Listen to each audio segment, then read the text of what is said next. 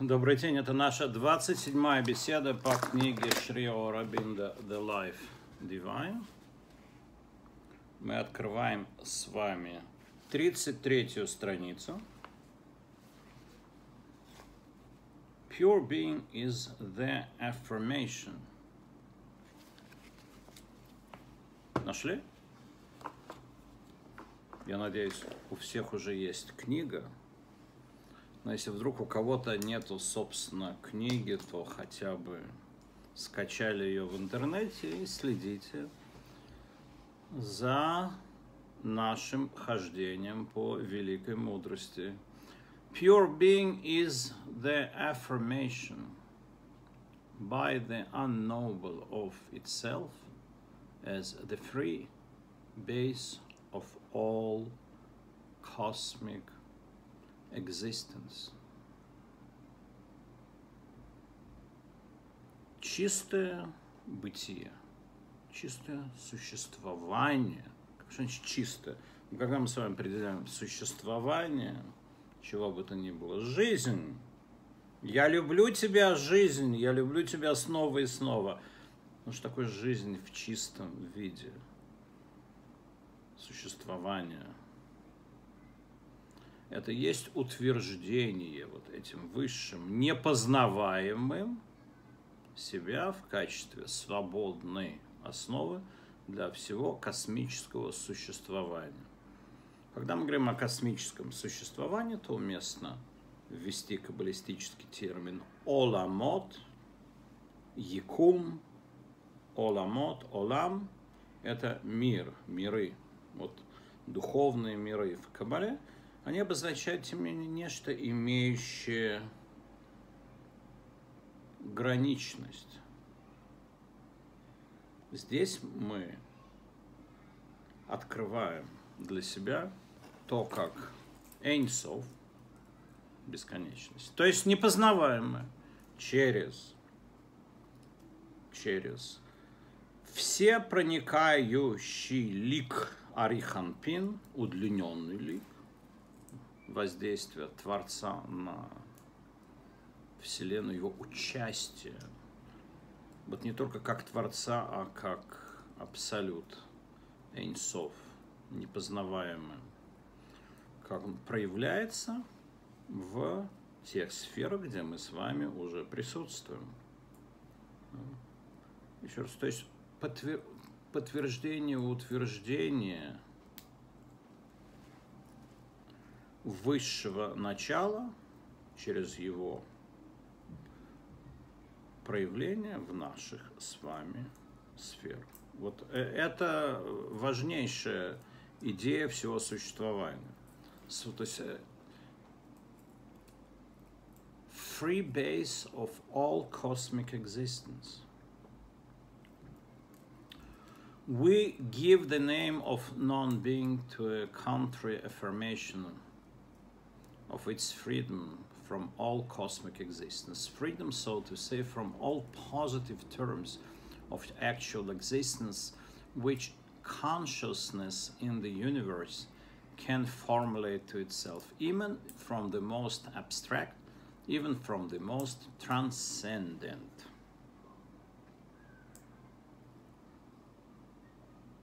И когда мы говорим «небытие», с точки зрения нашего восприятия. То есть, когда мы говорим непостижим, или когда мы говорим эйнсов, вот это правильнее всего будет использовать э, это эйнсов, когда мы с вами произносим эйнсов, ну, то, то небытие. Мы называем э, этим словом самоутверждение в, в нашем сознании противоположного свойства граничности, да? то есть его свобода от всякого космического бытия. Мы хотим сказать, что Эйнсов свободен от любого космического бытия, свобода от всякого, всякого позитивистского, положительного определения нашего с вами привременного, актуализированного бытия. И даже от определения самого абстрактного и трансцендентного, которое только может представить сознание во Вселенной. Это даже не абсолют, это нечто еще выше. И поэтому название Эйнсов это как бесконечный. Вот у нас есть с вами имена, у нас есть с вами э, обозначения, у нас есть с вами лики, у нас есть с вами сферы, сферот, процуфим, есть с вами миры. У нас есть много обозначений для божественного явления, для божественной манифестации. Мы всегда начинаем обсуждение с того, что божественная сущность, она в своей высоте, конечно, непостижима. А иначе это не божественная сущность. И эта сущность, она не может быть передана никаким словом даже.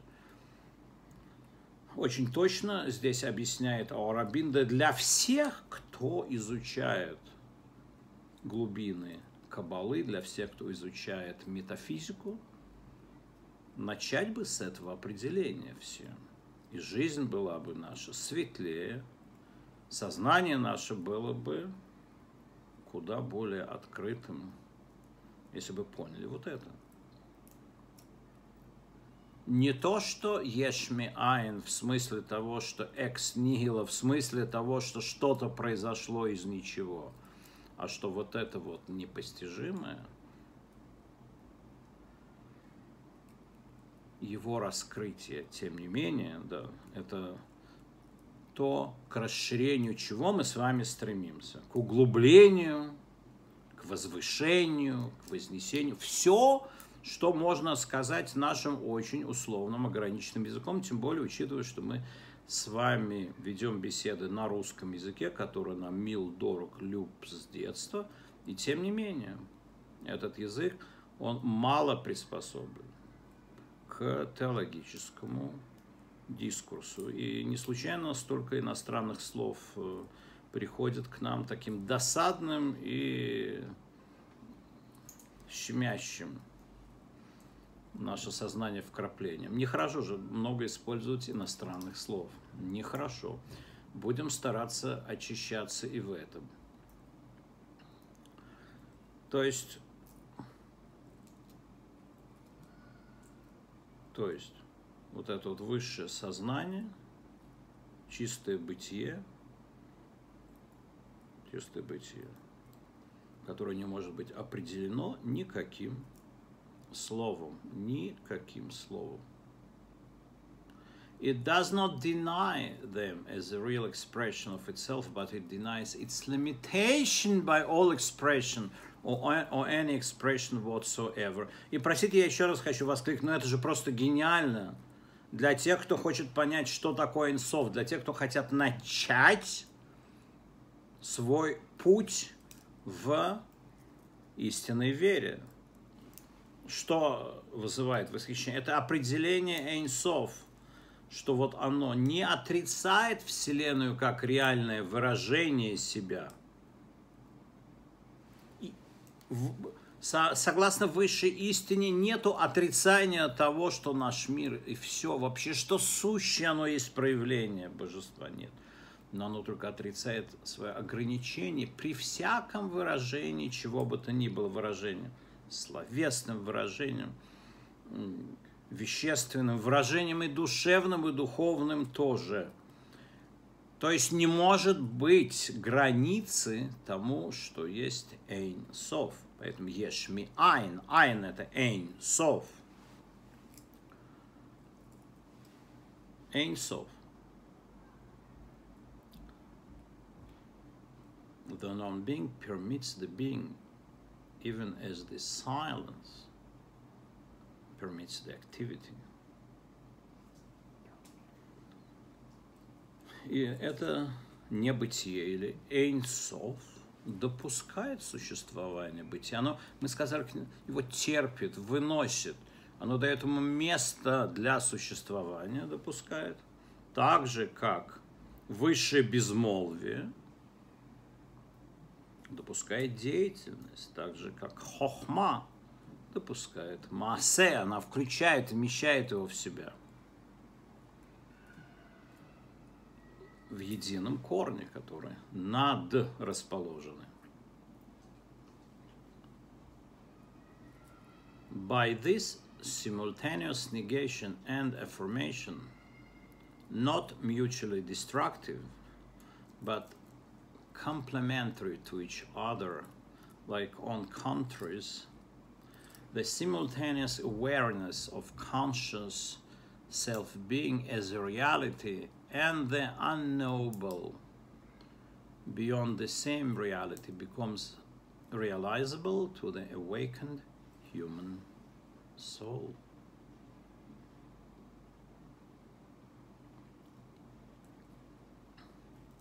Благодаря такому одновременно отрицанию и утверждению. То есть отрицание в смысле непостижимости. Мы не можем сказать, что это реальность э, не воспринимая. С другой стороны, с другой стороны, мы утверждаем ее существование. То есть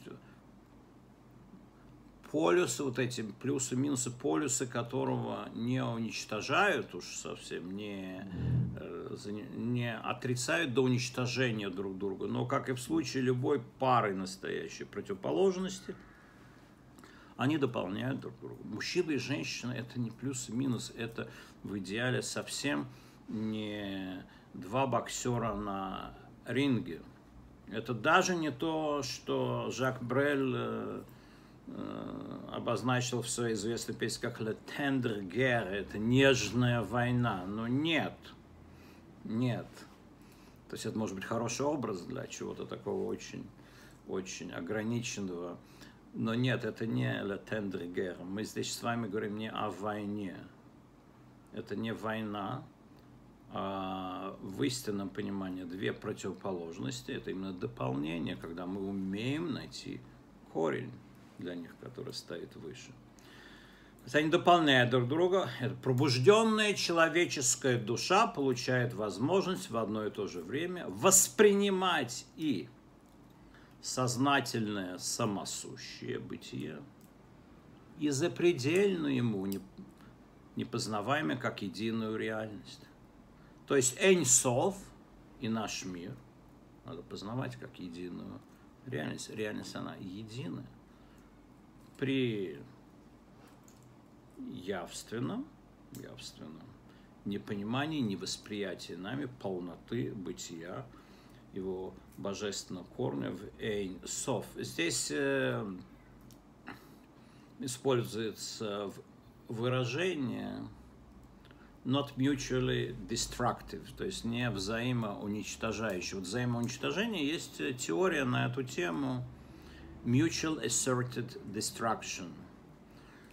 Это еще 70-е годы в Америке разработали такую вот теорию, что э, две ядерные сверхдержавы, они осознают, они осознают то, что могут друг друга уничтожить, если они вступят в полный уже такой безграничный конфликт, это назывался Mutually Asserted Destruction, что абсолютно неизбежное взаимное уничтожение – и э, аббревиатура MAD, то есть Mutual Asserted Destruction. К чему?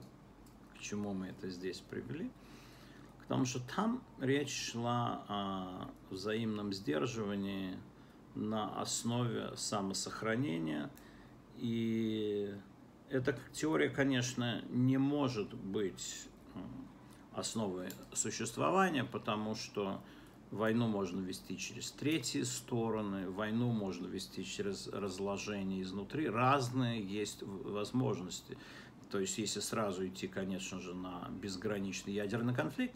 Но, с другой стороны, в этом же тоже есть определенная идея сдерживания все-таки. Да? Сдерживания. То есть, сдерживание человеческих потуг э, прийти к э, полноте силы и власти в этом мире. Вот эта идея э, царей эдомийских, семи из восьми, которые каждый из них выскакивал и умирал, выскакивал и погибал, mutually asserted destruction. Только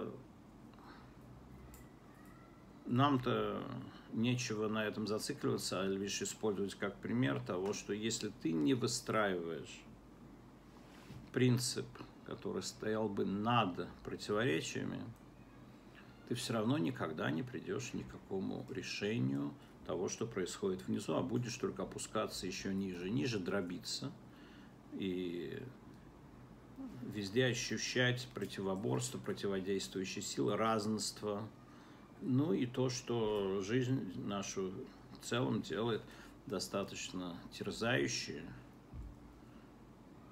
Разве не так? Она терзающая, пока мы не начинаем ее понимать, пока мы не начинаем дальше с вами учить то, чему нас учи, учит Каббала, и что нам так объяснил на современном великолепном английском языке Шри Аурабинда. Thus was it possible for the Buddha to attain the state of nirvana and yet act puissantly in the world, impersonal in the inner consciousness. In his action, the most powerful personality we know of as having lived and produced results upon earth. И, и говорит дальше, что вот этот вот пример, когда в одном и том же создании может быть э, чрезвычайно развита активная деятельность сторона и при этом при этом высокая духовность. Шри Рабинда здесь приводит как пример Будду, и мы не будем на нем сейчас заострять внимание только потому, что разговор о Будде поведет нас к рассуждениям о буддизме, а мы точно туда не идем. То есть вот определенно мы туда не идем.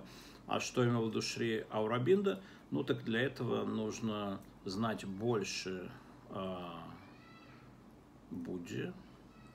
И для этого нужно глубже понимать э, Шри Аурабина, что он именно этим хотел сказать, но он дает высочайшую оценку здесь Будде именно вот его умению совместить совместить в себе, ну, в каком-то смысле то, что здесь написано, это брахманы и кшатрия, при, при, это пример нирваны и действия.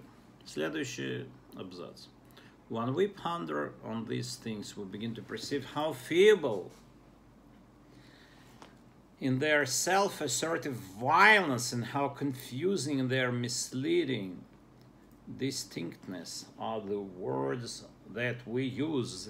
И вот по мере того, как мы с вами размышляем об этом, мы начинаем понимать, начинаем представлять, до какой степени, до какой степени несовершенно, чтобы не сказать ничтожны, в своем вот самоутверждающемся произволе, насколько сбивчивые, запутаны в своих определениях слова, которые мы используем. Ну да. И мы же не, не нашли с вами ничего лучшего. То есть даже в священном языке мы с вами, когда говорим ешми айн, то обычным переводом будет ex nihilo, то есть нечто из ничего, бытие из небытия. И это абсолютно неверно, наоборот. Айн – это эйнсов. Да, в священном языке это тоже прописано по существу. И когда ты понимаешь, что айн – это не отрицание всего, это эйнсов, да, в священном языке это есть. В священном языке э, при его углубленном понимании и утонченном знании, а не то, что на улице. На улице вам любой скажет, в том числе в религиозной стадности, вам скажут, ну, конечно, понятно, что эйнсов, то есть это что? это ешми айн, то есть это то, чего нету, то есть не было, есть что-то.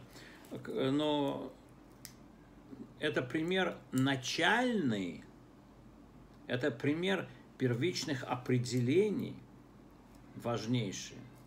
И мы именно на нем остановились, чтобы показать, насколько несовершенна наша речь и как важно перейти к познанию через медитацию.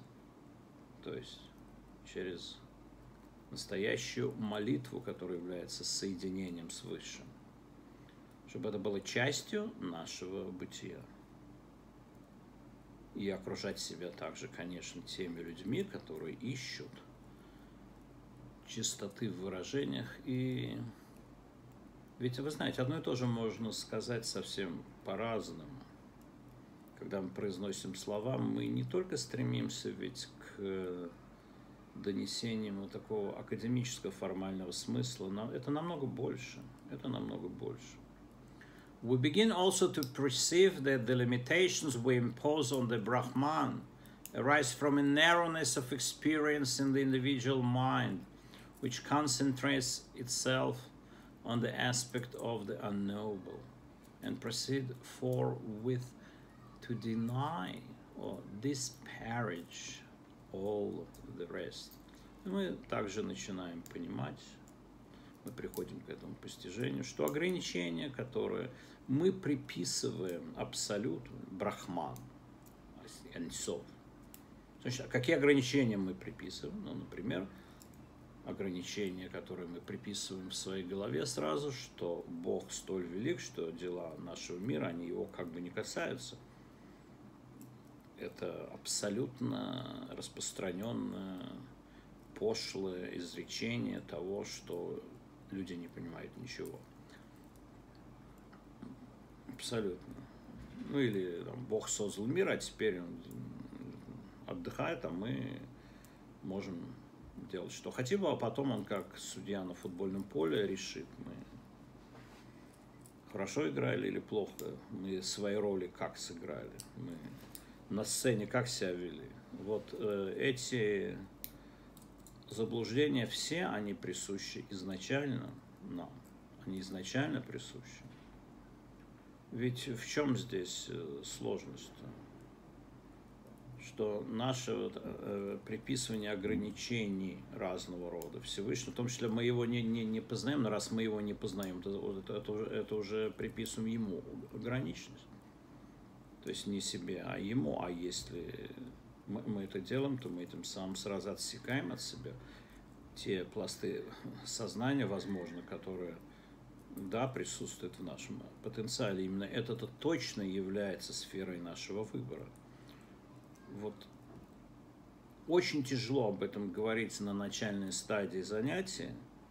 Сама тематика свободы выбора человека, которая является важнейшей, можно сказать, что вот определенно, определенно – человек располагает полнейшей свободой в осознании личностном того, что с ним происходит, то, что происходит вокруг, того, что он читает, изучает, смотрит. Это все, да, является частью его свободы выбора, как он себя поведет. Переводим дальше. И вот эти все э, наши ограничения, они же проистекают из узости опыта индивидуалистического разума. Мы невольно приписываем небесам те же грани, грани которые являются для нас э, скорлупой, за пределы которой не выходим и этого разума, который концентрирующегося на одном аспекте, непознаваемо и тотчас же перескакивающего к отрицанию всего остального или пренебрежению. Мы понимаем, что чего-то не понимаем, отсюда начинается отрицание, отсюда начинается попытка э, сказать, что сущее это только то, что мы с вами можем потрогать, увидеть или услышать. Это капитуляция перед тем духовным вызовом, который стоит перед каждым человеком. Это именно капитуляция. We tend always to translate too rigidly what we can conceive or know of the absolute into the terms of our own particular reality. Мы же всегда стремимся все жестко перевести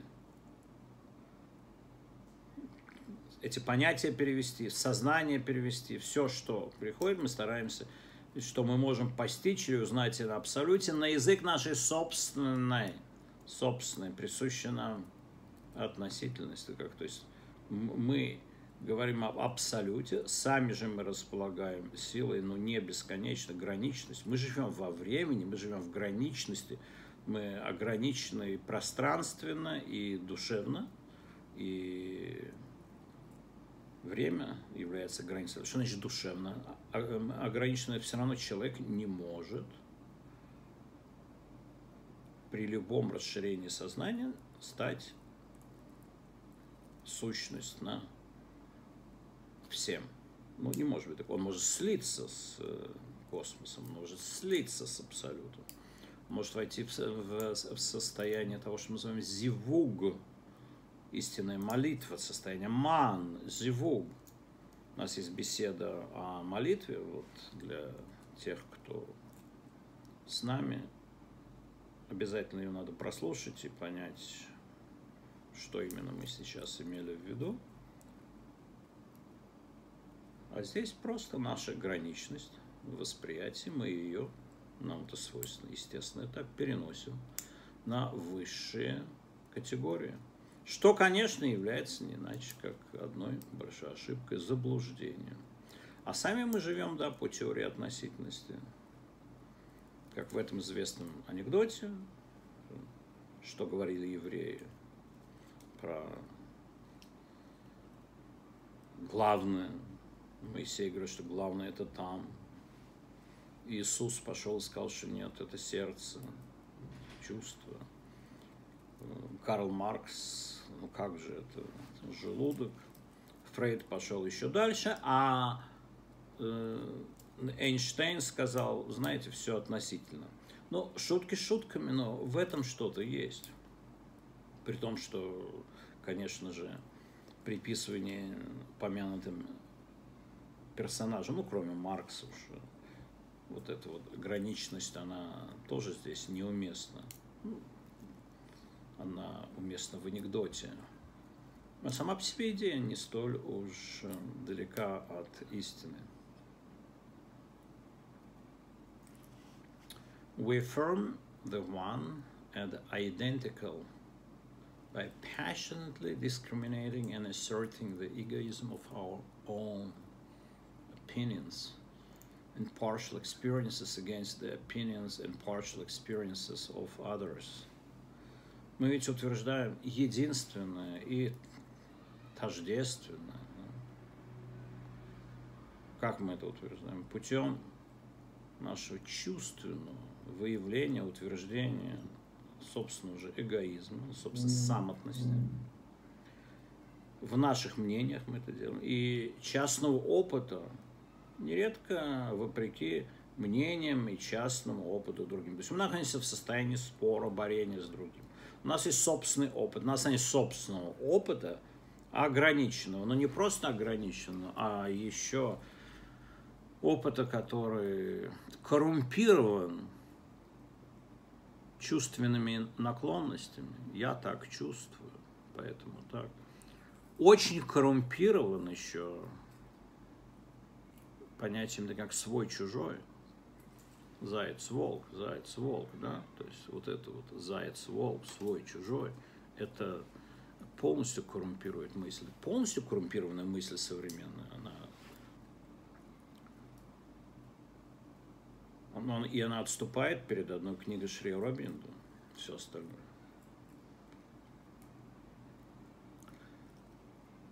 It is wiser to wait. It is wiser to wait to learn to grow, and since we are obliged for the sake of our self-perfection to speak of these things, which no no human speech can express, to search for the widest, the most flexible, the most Catholic affirmation possible and found it the largest and on the found it in the largest and most comprehensive harmony. Мудрее было бы нам. Ну, уметь ждать, сосредоточиться, вдуматься, учиться ну, и расти. И поскольку мы вынуждены вот, в рамках наших попыток самоусовершенствования говорить об этом, но говорить на несовершенном языке. Сакральный язык, он, может быть, и имеет эти все формы. Мы их можем не знать, он имеет их, вернее, надо сказать, что сакральный язык. Но э, ни английский, ни русский, они не располагают этими возможностями.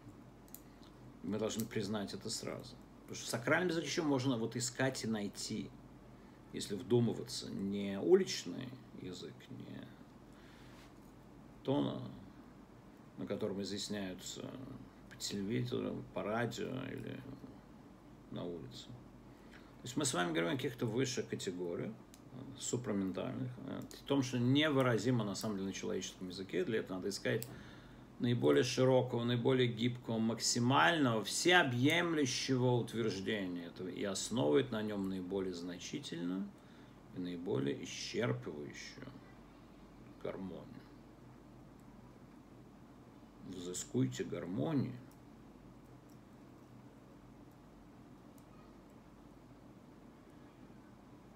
При всем несовершенстве те мысли, которые мы с вами произносим – тот ряд, который мы вам предлагаем, он поведет каждого, кто предпримет усилия понять совершенно новое сознание. Читаем же мы каждое утро молитву Ор Хадаш Алсион Таир Ваниске Кулану Мира Леоро. Светом новым озари Сион – и удостоимся все мы света Его. Хорошего вам дня.